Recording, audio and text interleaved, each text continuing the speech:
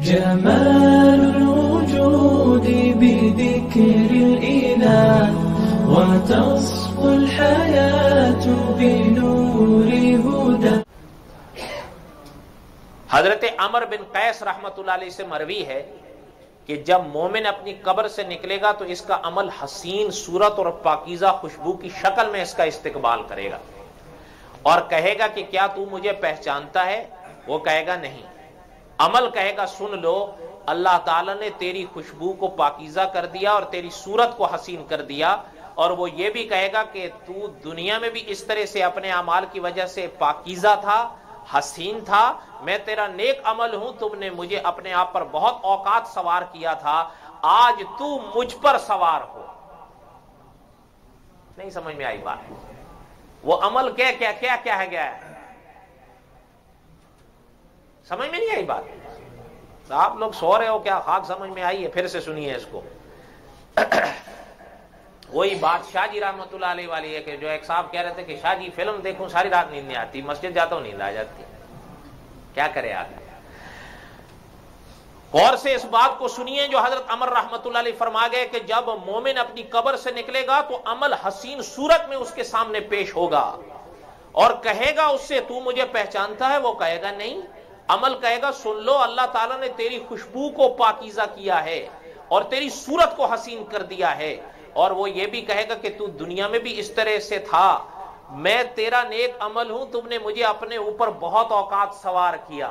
सच पूछिए, जब फजर की आजान होती है, किसी मुसलमान से पूछिए कि जब उसको उठना पड़ता है, और खासकर सर्दियों की रात में उठना है और वुजू करके फिर जाकर मस्जिद में, या जहाँ भी है वो नमाज़ अदा करनी है तो सोचिए क्या आलम होता है। जब गर्मी के रोज़े आकर घेरते हैं, और मोमिन सिर्फ़ ये सोचता है कि भाई मैंने खुदा को राज़ी करने के लिए भूख और प्यास को बर्दाश्त करना है। पंद्रह पंद्रह घंटे का रोजा, किसी मुल्क में अठारह घंटे का रोजा, लेकिन पानी का कतरा हलक में गुजारना गवारा नहीं करता कि मेरा अल्लाह नाराज़ हो जाएगा। सच बताइए, क्या अमल सवार है या नहीं? अगर पैसे मिलते हैं और निसाब तक मिल जाते हैं, साल में एक दफ़ा उसके ऊपर जक़ात फ़र्ज़ हो जाती है। गालिबन, मुझे आज भी कुछ याद आ रहा है, अगर गलती होगी तो मेरी तरफ़ से बहुत पुराना वाकया है कि एक साहब थे गालिबन बर आज़म अफ्रीका के। उनका कहना यह था कि इस साल मेरे माल में से सोलह हज़ार यूएस डॉलर जक़ात निकली कितनी? सोलह हज़ार यूएस डॉलर आदमी है, हैरान नहीं हो जाता। और जब देना है और उसको पता है ये फ़र्ज़ है तो अंदर से नफ्स और शैतान क्या कहता है? तू तो भूखा मर जाएगा। इतना दे रहा है।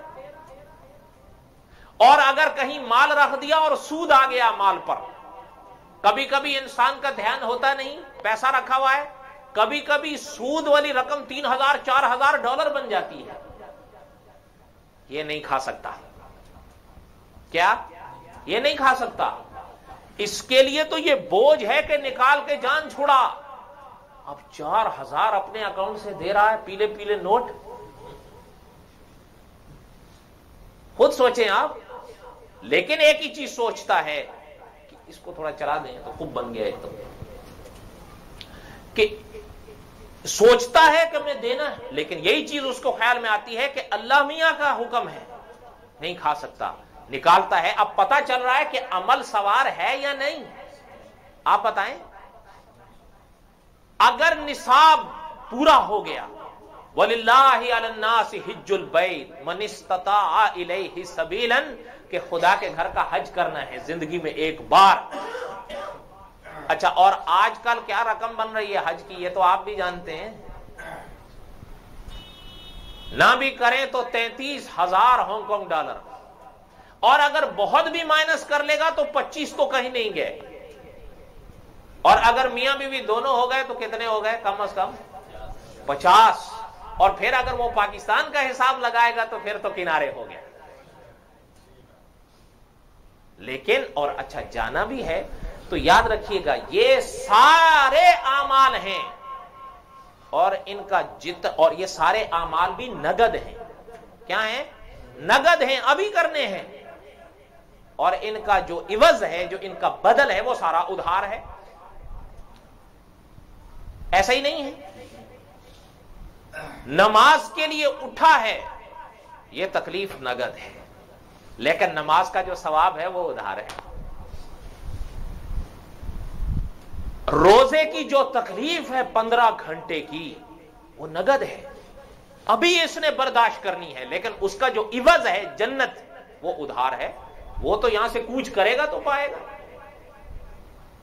हज की जो तकलीफ़ है बावजूद इसके के ममलकत सऊदी अरबिया ने अल्लाह ताला उनको जजा दे कि उन्होंने हर सहूलत हाजी को फराहम करने की कोशिश की है।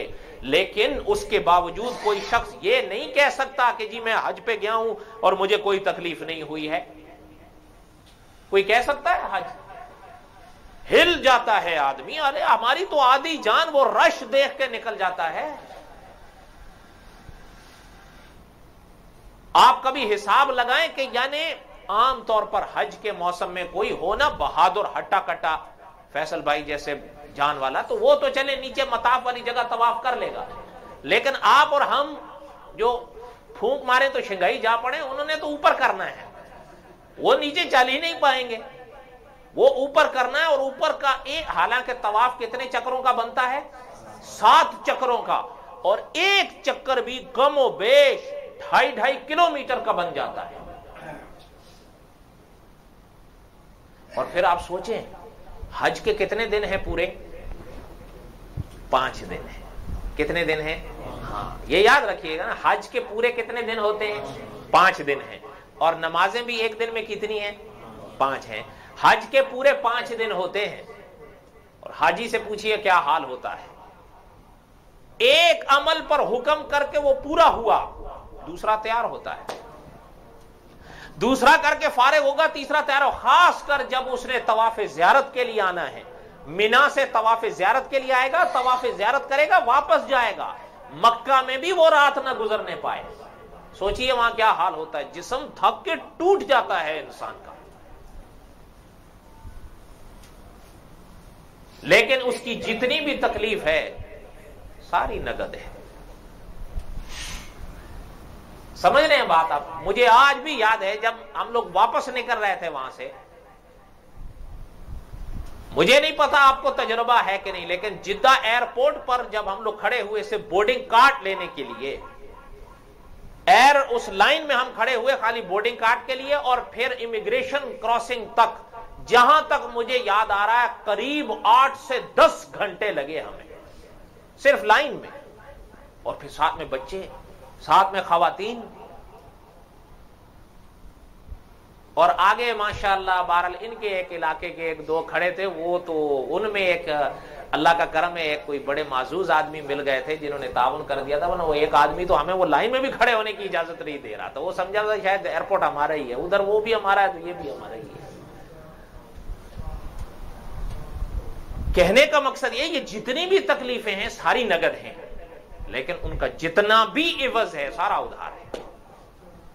और आमतौर पर हज़रत शेख मक्की साहब के अल्फाज कि मैं हो या आप हो, नगद के आदि हैं, उधार के नहीं। हम हर चीज़ फ़ौरन चाहते हैं। फ़ौरन मिले। और यही वजह है कि गुनाह हकीकत है। छोड़ने हमें मुश्किल लगते हैं। क्यों? गुनाहों का जो मज़ा है ना, वो नगद है, लेकिन उनकी जो सजा है, वो उधार है। हकीकत है ये, अगर आप थोड़ा सा गौर करें, हदीस शरीफ में बाकायदा फरमाया गया कि हज़रत जबरील अमीन इस्लाम को अल्लाह ने फरमाया कि जरा जन्नत देखो। ये हुजूर ने फरमाया शान अल्लाह की, कभी आप हदीस में पढ़ें। एक मौका ऐसा आया कि हज़रत जबराइल अमीन सलाम ने ख्वाहिश ज़ाहिर की कि खुदा मैं आपकी जन्नत देखना चाहता हूँ। अल्लाह ने इजाज़त दी अपने 600 नूरानी पर्दों के साथ उड़े। और अकाबिर ने फरमाया, हदीस की रोशनी में कि छह माह उड़ते रहे और छह माह के बाद रुक के उतर गए। और अल्लाह से पूछा कि अल्लाह, इतना अरसा से उड़ रहा हूँ, और कितनी बाकी है? तो ओलमा ने हदीस की रोशनी में लिखा कि हमारे अल्लाह ने जवाब दिया, जबरील, ये छह महीने के अरसे में जितनी देखे हो ना, ये तो मैं अपने एक अदना से बंदे को दूँगा। ये उसके उन अमाल का इवज है। जब उसे हर जगह कोई देखने वाला नहीं होता था, मेरे डर से रुकता था। उसका ये इवज है। कोई बात समझ में आ रही है और ये कोई ताजुब की बात नहीं है? हमारे लोगों को अब जन्नत समझ में नहीं आ रही। ऐसे लोग हैं। बल्कि अल्लाह माफ़ करे, उन्होंने नाम भी अपने मुसलमान रखे और रखवाए। लेकिन जन्नत उनकी समझ में नहीं आती। क्यों नहीं आती? वो कुरान पाक और अहदीस तैयबा की हर रोशनी को अपनी अकल पर पहले पेश करते हैं। वो ये नहीं चाहते कि हम अपनी अकल को कुरान हदीस के ताबे करें, बल्कि चाहते हैं हम कुरान हदीस को अपनी अकल के ताबे करें। जिसकी वजह से उनको समझ में नहीं आता। हालाँकि जब पैगंबर ने फरमा दिया, अंबिया ने फरमा दिया तो बात खत्म हुई। और कभी, हालाँकि ये अकल से भी कोरे हैं, गए गुजरे हुए हैं, ये हालाँकि याद रखिएगा हमेशा, शेखुल हदीस मौलाना इदरीस कांदलवी रहमत ने लिखा है, हमेशा याद रखिएगा कि एक बात का खिलाफ अकल होना और बात है, और वराय अकल होना दूसरी बात है। अगर कोई बात तुम्हारी अकल में नहीं आ रही है तो वो ज़रूरी नहीं है कि खिलाफ अकल हो, वो वराय अकल हो सकती है कि वहाँ तक तुम्हारी अकल नहीं पहुँच रही है, कि तुम्हारी अकल से दूर है। खिलाफ अकल कोई ये थोड़ा है कि तुम्हारी समझ में ना आए तो तुम कहोगे, जी, ये खिलाफ अकल है। नहीं, खिलाफ अकल होना तो और बात है। नहीं, समझ में आ रही बात आप लोगों को? आप लोग भी सुरीली तकरीरें सुन सुन के मस्त होते रहते हैं सुर होनी चाहिए, और कुछ हो ना हो।